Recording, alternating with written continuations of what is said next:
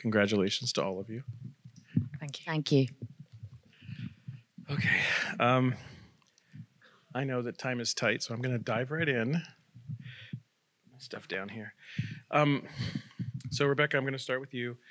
Um, you know, you spoke so eloquently, I thought, at the introduction about Nella Larsen, about this work.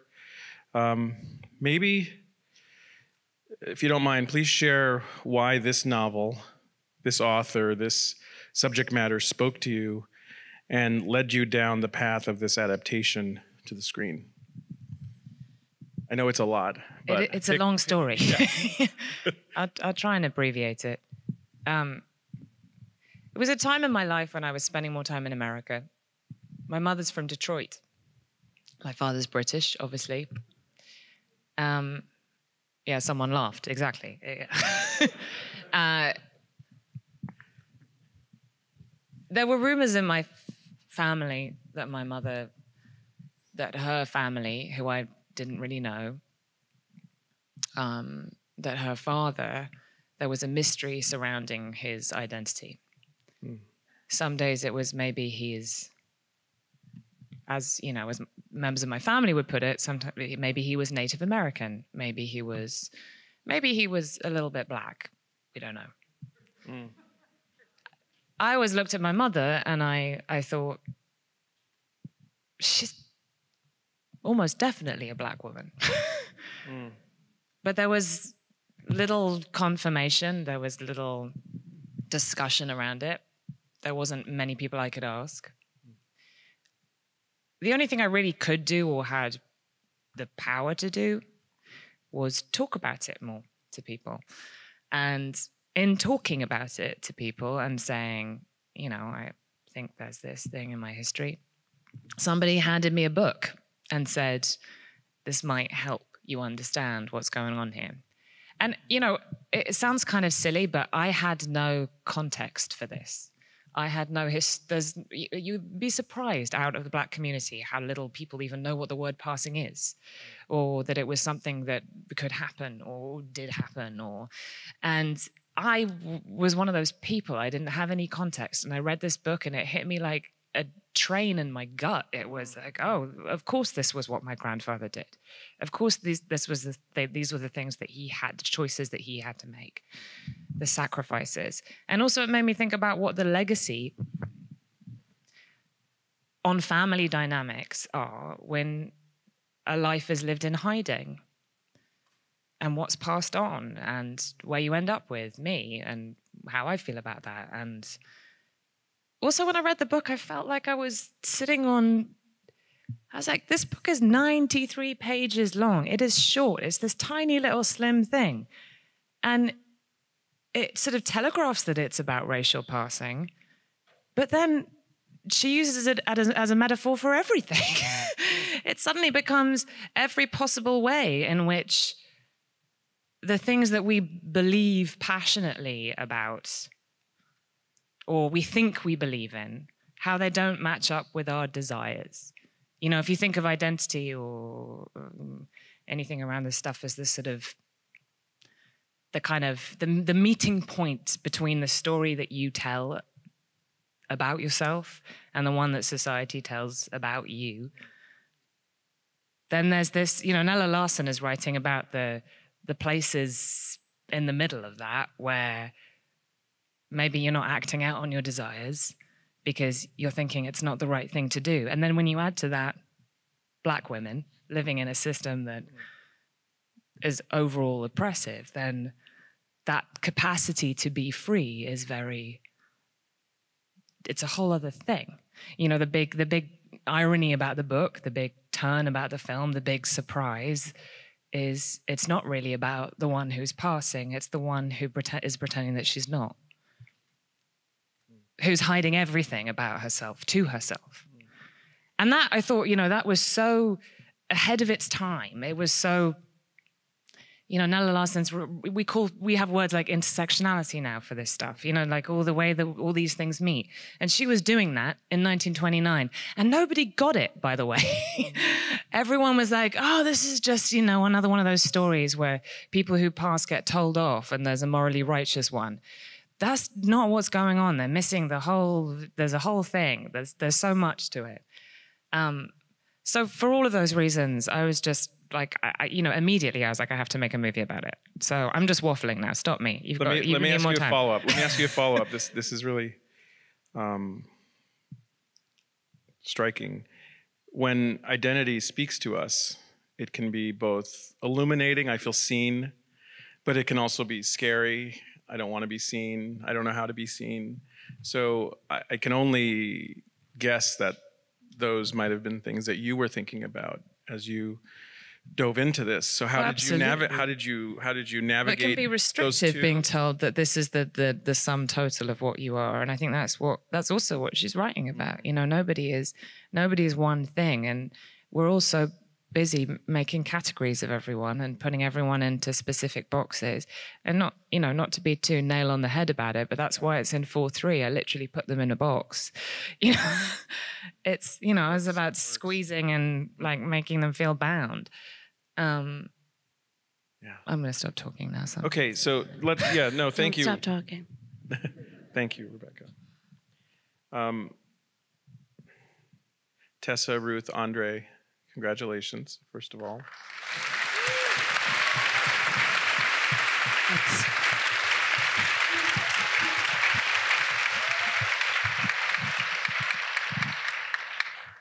So, a two part question for each of you, building on what Rebecca was just talking about. If you don't mind sharing something about when you, Matt, take yourself back to when you first read this, whether the book or the script. Um, if you don't mind sharing something with us that, that leapt out at you, what was something, what's something that you still hold on to that leapt out at you the first time you encountered this writing? And building on that, maybe an early conversation you had either with each other or with Rebecca as you were sort of embarking on this work together.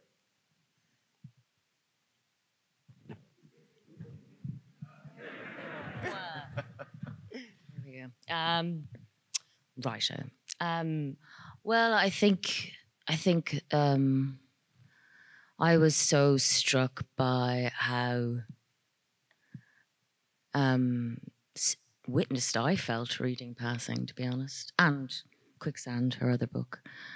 Um, and I fell completely in love with both Irene and Clare because I firmly believe that they're two sides of the same coin, and like um, we've we've talked about it as well, and um, um, both women have elements of Nella in them. They must do. She understands them so completely and wonderfully. Um, I fell in love with Clare because I was jealous of her.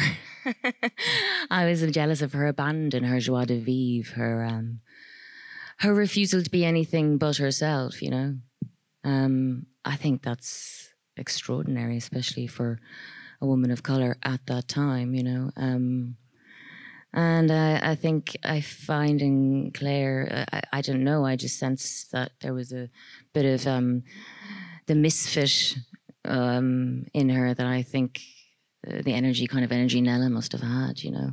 Um, so I, I just, um, I just fell in love with her writing. What was the other question? Maybe an early an early conversation that you and Rebecca had as you were embarking on this work together. Hmm. One of you take over. Clearly had no I'm conversations. we had conversations. I just said yeah. Fair enough. She said, "Do you want to dance?" And I said, "Yeah." You're asking. About right. Andre. Oh. Okay. Um, I'm gonna warn you. I have a I have a frog in my throat. Something you know, which is terrifying in the time of COVID. You're just like, please don't cough, please don't cough. But I get tested every 30 minutes, so I assure you, I'm negative with a positive attitude.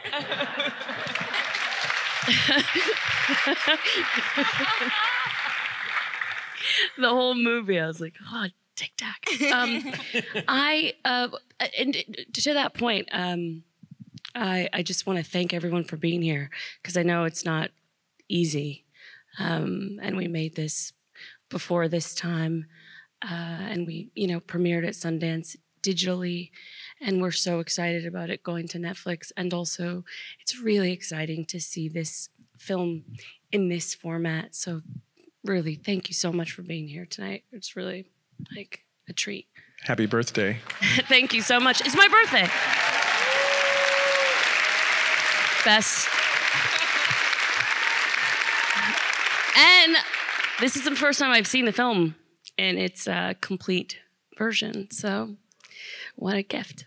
Um, thank you so much. Um, what was the question? So either either either something about the, the the words on the page, whether the book or the the script, um, you can take that one. What spoke to you there, or you can share with us a conversation you had with Rebecca early in the process as you were saying yes. Something that really struck me is uh, the viscera of the book and how sensual it is. Um, like the scene where we first see each other the Drayton, there's this. I mean, read the book maybe, because it's yeah 93 pages, so you you can do it. And um, but it's there's this passage where she talks about smelling her like this waft of perfume and she it just struck me as yes so sensual so deeply sensual and it interested me that i would be playing the character that has the least access to her sensuality. So i would just get to watch ruth do that. And how dazzling is she? Um, um, I was I was beguiled by the characters. So I read the the book first, and then Rebecca's screenplay, which what a task, you know, to have this source material that's important and slim, and to figure out a visual, you know, way to articulate the interiority of these characters, particularly Irene, who feels a lot and says little of it. Um, and I was just so struck by how well you did that, Rebecca. And we talked, uh, something that, that was fun to do is to talk about the different interpretations, I think, of the book in general, but Irene, her actions, her desires. And um, what I liked about your approach so much is that you left space for ambiguity. And oftentimes, you know, people want you to decide exactly what you are, how you feel about something. And I don't like to do that all the time.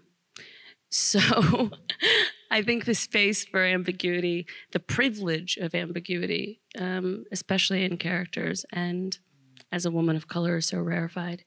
So we spoke about that, and uh, and our conversations haunted me as much as the book. As far as early conversations, the thing that comes to mind for me is the, the idea you pointed to earlier, Rebecca, around everyone in the film passing in some way, uh, and Brian being a guy who you know outwardly has has a successful life. He's a successful doctor, a father, a, a um, pretty good husband, I think, trying to be anyway. Um, and yet he's sitting with uh, an enormous uh, dissatisfaction and restlessness, and is in a way passing for happy. Um, so that was really interesting to me. And mostly, I'm just grateful to be a part of this. It's uh, it's really special, and y'all are so special. So thank you for bringing me along for the ride.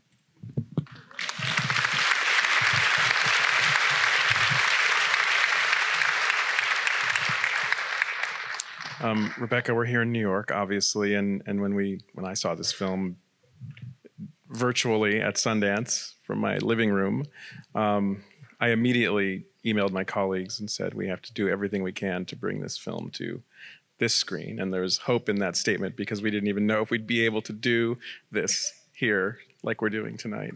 Um, but one of the things I was thinking about um, when I saw the film, beyond everything that you've all just shared now, is also this idea of New York as a character, as such a strong presence that that carries us and holds us in this film. So um, I have to ask you to talk about New York. We're at the New York Film Festival. Welcome back. Thank you for bringing this film to New York. Yeah, well, no, thank you for thank you for hosting it. I, you know, it's a slightly um, um, contrary response to that question because I was quite interested in not really showing it in a kind of typical way. Um, I think people think about the 20s and they immediately think jazz age and everything's loud and blah, blah, blah, blah. And I was like, this is kind of, you know, this is all drawing rooms and teacups and politeness and restraint. And, and we need to see New York through Irene's restrained, sort of uptight eyes, you know. And so I, I, wanted to find a way to feel on the peripheries of the jazz age and the noise and the bustle, like she's sort of not quite in it. Um, and so I was always, you know, we, that said, it was crucial to shoot in Harlem. you know, and I think for the, the context, thank you. Yeah. And the, yeah. You know, the history and just the feel, and, and we were in a, a real brownstone on the real streets, and that that was important to me, to everybody. And to have that as our sort of home base, as it were, um, I think gave me freedom to be delicate about how to drip feed the other elements of the period and the 20s and all the rest of it and New York City. A lot of it was sound, honestly. Yeah. Well, so so I want to get to the technical uh, in the time that we have left, and you referenced it earlier the idea of making a film in black and white in this aspect ratio all the all the things that might be seen from the outside world as a hurdle or an obstacle um, are all choices decisions that as a filmmaker you made and that all collectively create the experience we just had um, so if you could maybe elaborate on some of the the ways you were th- you thought you talked about the box putting the characters in the box, but also the black and white and the sound, the design, the music. There's a lot there, and we don't have a lot of time. But I want to see which which I of know, those you want to sort of Well, I'll, I'll, I'll speak briefly us. to the black and white because it's kind of, I, you know, it's glaringly obvious. Um, I, I knew from, I think like the, the first draft of the screenplay, which I wrote 10 days after reading the book, that it had to be in black and white. Um, not so much because of the obvious reasons, like it's a film about people on, across the color line. That's not really it. It was more the abstraction of it that interested me. Like, you know, this is this is about the in-between spaces and the things that are not black and white. And the the big gag about black and white is it's actually gray. Um, you know, it's not black and white. Similarly, people aren't black and white. They're, we're both undergoing a process of translation with our eyes when we do those things. So I just wanted to draw attention to how busy we are categorizing. Um, also, I'm not particularly interested in, in cinematic reality reflecting our reality. I think it's imperative that there is emotional truth, but I'm interested in poetry and I'm interested in trying to make people feel things in an expressionistic sort of way. And I felt that the black and white put people in a, a slightly abstracted space where the world had its own rules and the shade and the tone could shift people. It draws attention to, I guess, the slippery reality of these things that we're talking about, like that people are changeable in this way and you could see it with black and white. I mean there are and for example in the in the hotel room at the beginning it's very purposefully oversaturated with light and and whiteness. Um you know everyone is blown out. It's oppressively light. And then when you get to harlem it's a completely different lighting scape. And those those choices were very purposeful. And purposeful because for for very straightforward reasons it was crucial to me to cast black women in these roles. There is a history of passing movies in hollywood. They're nearly always white women or white men with a few very rare exceptions like Fredi Washington. it didn't feel right to me. It didn't feel like it was going to put you in the position of experiencing it correctly. I wanted you to experience it from a black perspective, honestly. Hmm. You know, if, if a, a family member goes and, you know, leaves and starts passing white, that family doesn't look at that person and think, you know, oh, they're white. they will always see them as black. So I wanted the audience to look at people that you know, that you have a fixed idea about their, their identity. You look at Tessa Thompson and Ruth Negga, and you, you know them to be black women. That puts you into that perspective, and it makes it scary because you're thinking, what's going on? Are they going to are they going to get found out? I'm terrified. What how is anyone how is no one seeing this? You know, and that I I needed you to feel that and there was a there was the black and white allowed me that, I think. Um yeah. Andre, Ruth, Tessa, Rebecca, thank you very much. Thank you. Thank you so much.